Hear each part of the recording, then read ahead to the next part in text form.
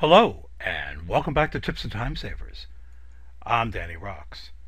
Learning how to distinguish between the data that you type into a cell and how that data is displayed is one of the keys to understanding how Excel works. Let me give you an example. Let's switch over to this worksheet. And this is an exercise that I frequently use in class when I'm teaching Excel to a group of students aside from the labels that I have in row 1 and the labels that I have in row 3, this appears at first glance to be a blank worksheet. So I'll ask the class to select cell A4 and type in the number 123 and press either enter or control enter. Most people in the class are surprised to see that they typed in 123 but something different is displayed, in this case a date. May the 2nd, 1900. So frequently they'll go back and say, well, I probably didn't understand correctly. I'll press delete, and this time I'll type in 321, enter or control enter. A different date. And they swear I typed in 321 and I typed in 123 the first time. What the heck happened? Well, if you come over here to the Home tab of the ribbon, Notice over here in the numbers group, when we look at the formatting for this cell, it's saying that we have this cell formatted to display as a date. So using the drop-down menu, we can see that changing the format is going to change how our data that we typed in or the data that we pasted into a cell is going to be displayed. Now if I come back here and if I change the formatting to general. Now general formatting is the default formatting when you open up a brand new blank Excel workbook. So now what we typed in 321 is displayed. Let's come back here and put in the short date formatting. Now people will say, well, how does this how does Excel know which date to display when I type in 321? Well, let's go back and type in the number 1. And what's displayed, because again, remember we're using the short date formatting, is January the 1st, 1900. Day 1, the number 1 is stored for cell A4 for this worksheet. But day 1 has a meaning to Excel. That is the first day that Excel began keeping track of time. So if I type in 2, that's going to give me, because I have the formatting for this cell as date, short date, January the 2nd, 1900.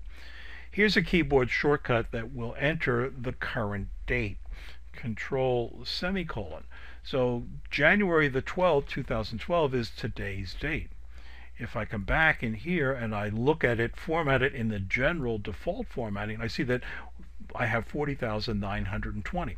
So what I type in, the number that I type in is what actually is being stored for this cell in Excel but we can choose to have it displayed using a variety of formats. Now let me make a selection of these cells, A5 down through A10, and I'll use 1, 2, 3. And again, I remember I selected multiple cells ahead of time, so if I press Control Enter, that data gets entered in each of the cells. So notice the variety of formatting that I have over there. Now, what I recommend that you do, the key to this lesson is to understand that we have a very useful tool available to us. Home tab of the ribbon. Come over here to the editing group and notice that there's a drop down menu next to the clear command. Notice that we can choose to clear the formats, which is what I'm going to do, or we could clear the contents. The contents are the data that we type in. The contents are the data that we paste into a cell or into a range of cells. Or we could choose to clear all. In other words, scrub clean our selection. So when we make a selection, the cells that I've selected, and let me come back here and I'll select all of these cells, come over here, clear, and from the drop down I want to clear the formats. So now you see that the content remains in place, but the formatting has been stripped away. And I could come back and I could change the formatting to be a short date. So distinguishing between what is stored in Excel, what you type in or what you paste into a cell, and the different formatting that is in place for the cell is something that you need to learn how to take control over.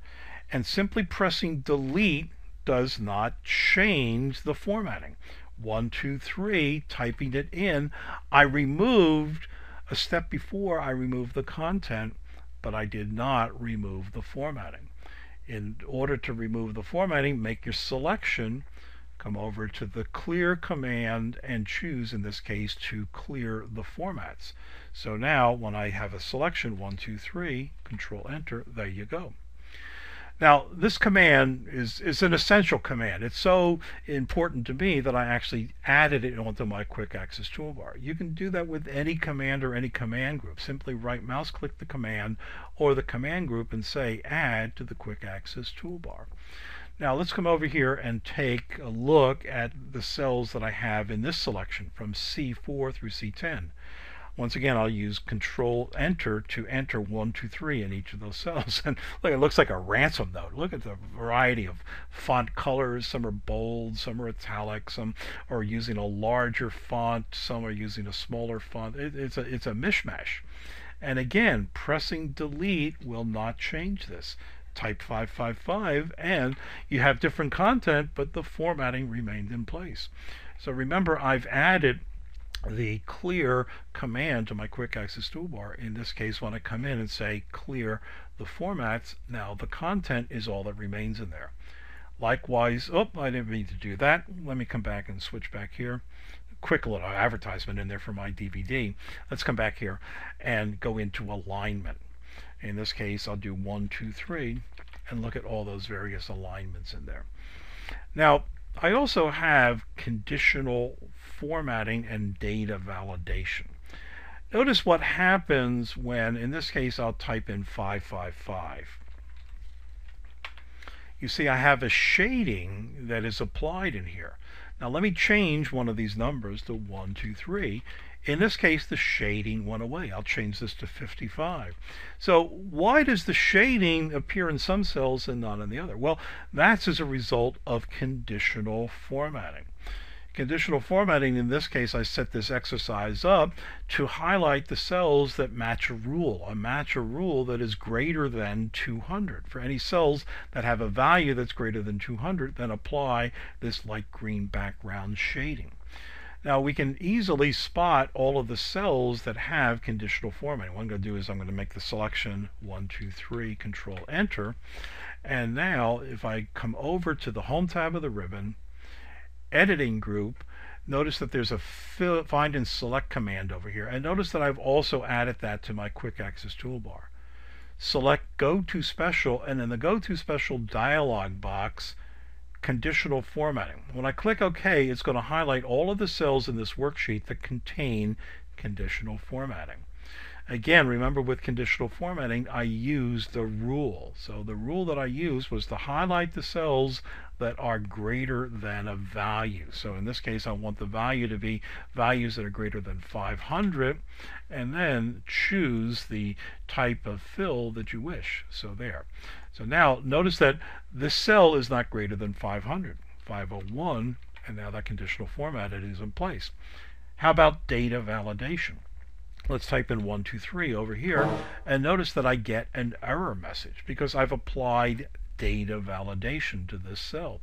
The data validation is to only accept entries that are less than 100. So typing 555 is going to bring up an error because it does not match the data validation rule. Remember we have find and select over here, go to special, and in this case, I want to see all the cells in this worksheet that have a data validation rule applied. Click OK. So now all of those cells are highlighted. Now I could come back here into the data tab on the ribbon and what I want to do in this case is come over here to data validation and I want to clear the rule. So here was my rule for the settings except the whole number that is less than 100. So let's clear all and click OK. Likewise with conditional format, I could make my selection and remember to take advantage of the Go to Special dialog box. Remember to clear a rule, select the cells that you wish to clear first. So here are the cells that contain conditional formatting. Now, Home tab of the ribbon, conditional formatting, what I want to do is I want to clear the rules from the selected cells. So without realizing that there could be underlying formatting, we could have a mishmash over here. So let me just delete the cells, which deletes the content, does not delete the underlying formatting. One, two, three, control enter, and there you go. I have a mishmash. So learning how to take advantage of the drop-down command next to the clear command and clear the formatting from your selected cells will help you to have a good clean start. Now, there is one other element that I want to bring your attention to. Let's come over here in the clear formatting. And again, this appears to be a blank worksheet. Let's bring up the go to special dialog box and one of the other commands over here is the last cell. Click OK, click OK. And you see it's going to take me all the way down in this case to cell Z34. Now, why is that the last cell? Because somebody had left bold formatting in place. So maybe you're re, you're reusing a worksheet that you used last month or last year, or a client or a colleague sent you this worksheet. So you're going to run into trouble unless you learn how to clear the data. So let me introduce you to uh, the, the concept of selecting all of the cells in the worksheet. One quick way to do that is to click this button. So above the number 1 and to the left of the letter A, now I have all of the cells in the worksheet selected. And if I come over here and if I say clear the formats, now all of the formatting has been removed. The content remains in place and now I've removed the possibility of having some stray formatting that remained from a previous use of this worksheet. So as I accidentally uh, clicked on uh, my my online shopping cart, I introduce you to my best-selling DVD, the 50 Best Tips for Excel 2007. 50 lessons just like this, and it also includes the practice worksheet. So I'll look for you in the next lesson.